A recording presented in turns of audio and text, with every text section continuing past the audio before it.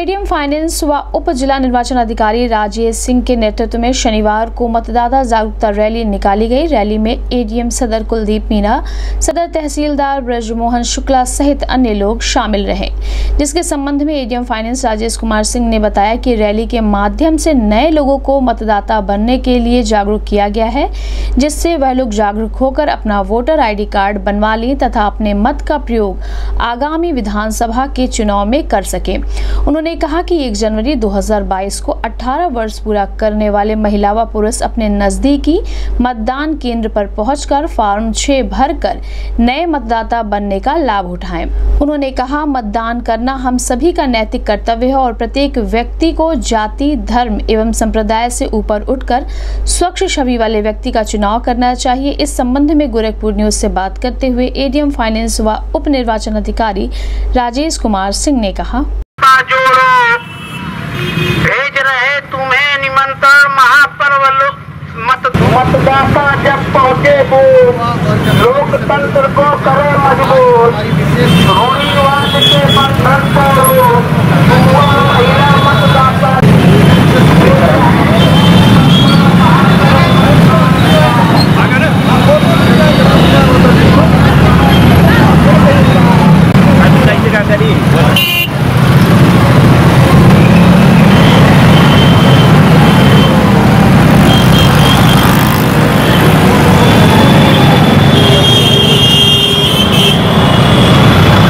Corona समय यही सम्मान का मतदाता जब पहुँचे दूर लोकतंत्र को करे मज़बूत रूढ़िवाद के युवा महिला मतदाता जोड़ो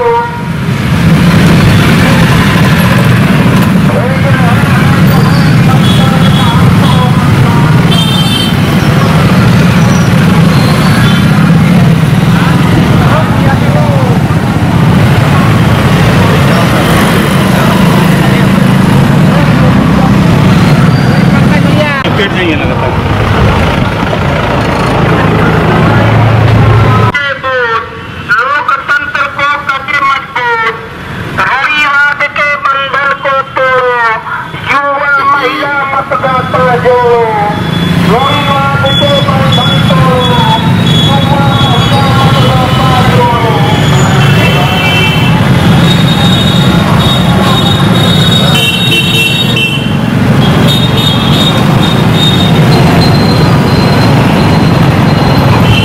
आज मतदाता सूची के विशेष जो संक्षिप्त पुनरीक्षण है, आज उसकी विशेष तिथि है। आज सभी बूथों पे हमारे बीएलओ बैठे हुए हैं, सभी सुपरवाइज़र फ़ील्ड में हैं, हमारे अन्य अधिकारी भी फ़ील्ड में हैं। आज ये मुनासिब मौका था कि ऐसे समय पे लोगों को जागरूक करके बता दिया जाए कि भाई घर में मत बैठिए आप अपने बूथ पे जाइए अपना नाम ज़रूर चेक कर लीजिए। यदि आपका नाम नहीं है तो प्रारूप छः में अपना आवेदन दे दीजिए। और यदि आपका नाम है तो ये चेक कर लीजिए कि वो शुद्ध है या नहीं है। यदि शुद्ध नहीं है तो प्रारूप आठ भर दीजिए। परंतु आज थोड़ा सा समय निकाल करके आप बूथ पर अवश्य जाइए।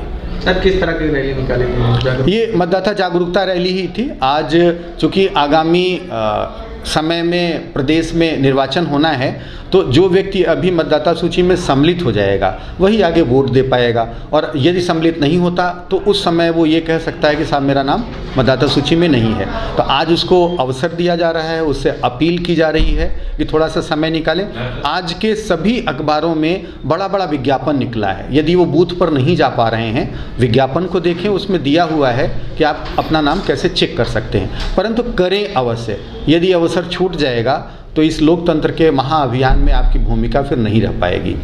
सर, रैली कहाँ कहाँ तक ये रैली आज करीब 20 से 25 किलोमीटर के क्षेत्र में घूमी। जनपद के शहरी क्षेत्र में हम लोगों ने ढेर सारा एरिया कवर किया, लोगों को रुक रुक कर भी संबोधित किया और अनाउंसमेंट के माध्यम से भी लोगों को जागृत किया गया।